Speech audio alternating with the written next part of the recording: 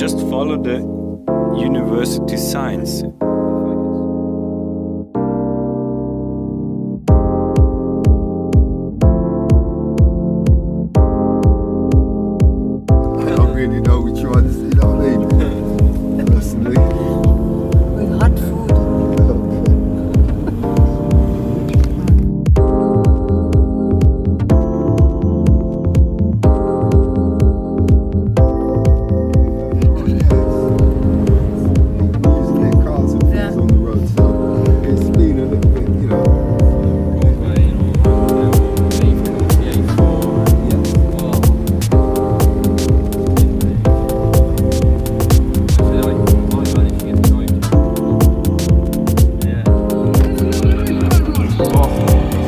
man. Thank you very much.